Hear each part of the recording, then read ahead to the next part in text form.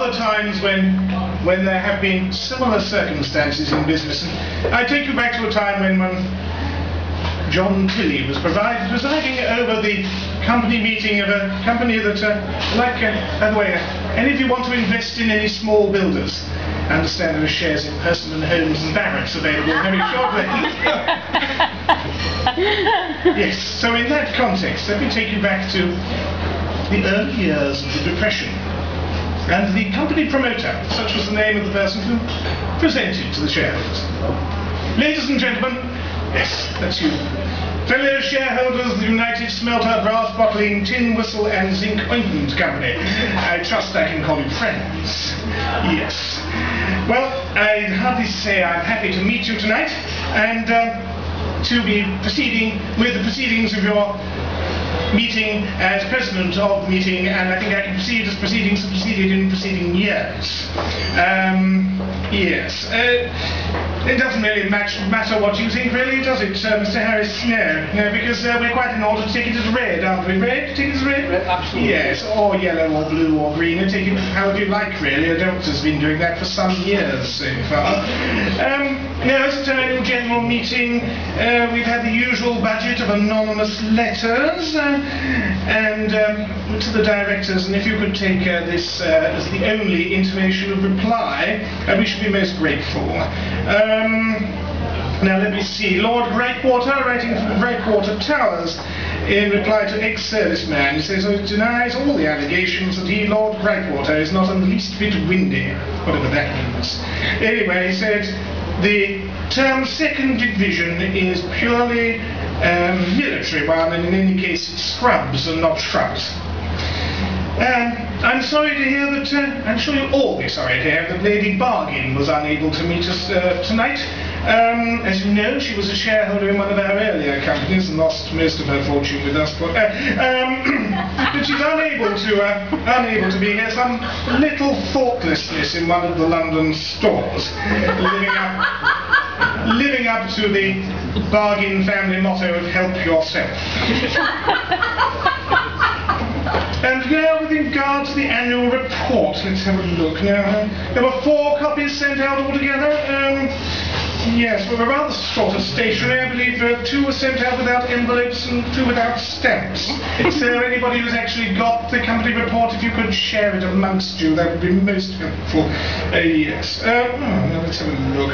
Um, Ah, we may consider ourselves fortunate that the report was very much louder this year than last year. Um, the main feature, of course, is the debenture issue. Yes, the debenture issue of last week secured on the office furniture. Yes. Uh, and last year we secured the same on the office gas meter, but as you know, the mortgagees, the Gaslight and Coke Company, have, uh, have uh, threatened to uh, cut us off. But uh, we will be saving a lot of money by running the office without gas and by similar arrangements that are forthcoming from the uh, Electric Light Company and the New River Water Company. We'll be making further economies later in the year. in spite of these setbacks, I, I must say we must set, offset the setbacks with, with the, you know, well, your directors have decided um, to move the entire office into the passage outside, and uh, however, that has not yet been confirmed. But we can congratulate ourselves on the fact that there has been um, some movement in the sale of zinc ointment by our Aberystwyth branch. Uh, when I say sale, the, uh, the case of zinc ointment was sent out on sale and return and has been returned to us, but I must say it is a very real crusade in zinc ointment, and you'll be pleased to hear that. Um, now, last February, I must say, a number of forged share certificates were issued in the company. Um, now, I'd be pleased if uh, anybody receiving the forged share certificates could take them back to the issuing office on uh, April the uh, 14th uh, between 4 o'clock and 5 o'clock in the afternoon when they will be exchanged with a genuine article. Not that it will make the slightest difference to the value. Now, let me see. Anything else in the report here? Ah, yes. Yes, yes, yes, yes, yes, yes. Ah now, now, as you see, it remains to me to read our auditor's report. As you know, our auditors this year are once again Lip Hook, Lip Hook, Dog's Body and Lip Hook. And they're automatically up for re-election this year. Um, they are most, uh, without a doubt, one of the most reliable firms in the city, and we should re-elect them. Could we have a show of hands on that? Yes, yes. Uh, okay. Now, apparently, according to them, the balance sheets here, the balance sheets, yes, the balance sheets are correct with every ex- uh, fact except for the figures.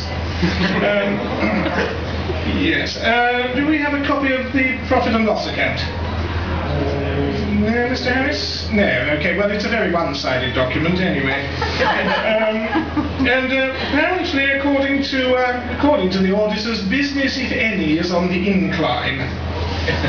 So I promise you that that next year we will have a, a far better year. Could be worse, could it really? Um, so I remind you that the man who built his house upon the sand, the man who built his house upon the rocks, because this firm is not only built on a rock, but deeply embedded in the rocks. And everything about this firm is of good report, sound and secure.